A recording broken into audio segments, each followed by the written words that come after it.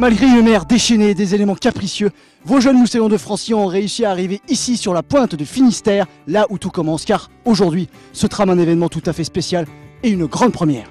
Vincent Leroy a organisé le tout premier Brest Fall Show de l'histoire sur la commune de Pont-de-Buis et que nous vous proposons de suivre tout de suite ici en terre de Brest.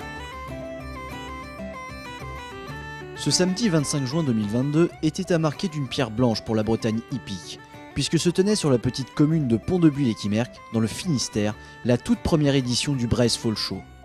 Un événement organisé de toutes pièces par une équipe jeune et dynamique, emmenée par le déboureur pré-entraîneur Vincent Leroy, aux côtés de Céline Bertoulou, Jérôme Pratt, Jennifer Bouillou ou encore Aurélie Dincouf, dont le souhait était d'offrir une belle vitrine aux éleveurs de foule pur sang et AQPS à vocation obstacle breton, en les faisant se réunir en un seul et même endroit, la ferme de Kervik, dans le parc naturel régional d'Armorique. Les sourires sont sur les, sur les figures et puis euh, les gars ont mangé avec beaucoup d'appétit, ils ont un peu été contents qu'il y ait un peu de musique, je pense vraiment qu'ils ont passé du bon moment. Et alors les falls c'est une chose, la convivialité c'en est une autre, la mise en relation c'en est encore une autre. Et, voilà, ces deux derniers facteurs sont vraiment très importants pour moi. On est une association, on s'est regroupé, euh, l'écurie de Fréhel, Vincent, nous, des partenaires, Royal Horse et tout ça. Euh, c'est ouvert à tout le monde, donc celui qui veut nous rejoindre, il n'y a pas de problème. L'association c'est Genekin West, donc le but c'est bah, de créer un événement comme le Brest Fall Show, on l'a fait. Euh, d'organiser pourquoi pas d'autres événements, on n'y est pas encore mais on va travailler là-dessus.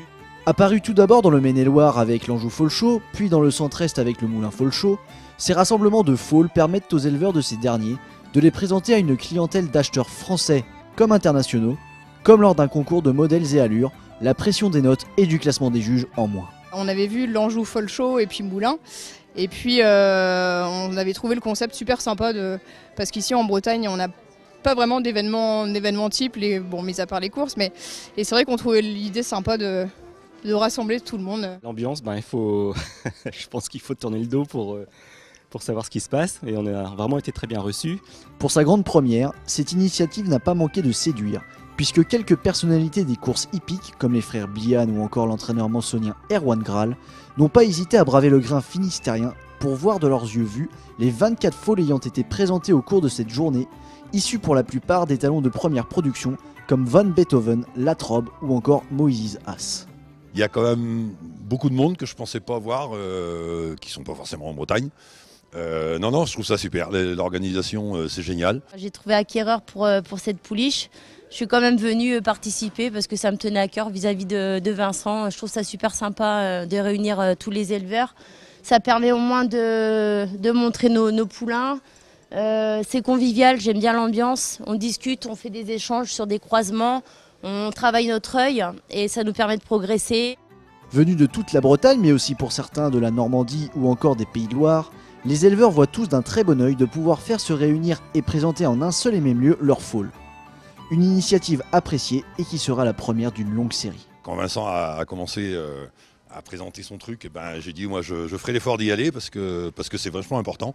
Et puis ben, j'espère surtout que ça va continuer en Bretagne. Il y a du dynamisme et, et les gens voilà, ont répondu présent. Euh, pour l'édition. Là, on a fait 24 cette année, euh, voilà, viser un peu plus haut et que ça se développe de plus en plus et ramener encore plus de monde par chez nous en Bretagne pour euh, dynamiser le monde du pur sang. On est obligé de, s'allier, de, coopérer, parce que les coopératives agricoles, c'est quand même euh, de chez nous, il y en a, il y en a beaucoup.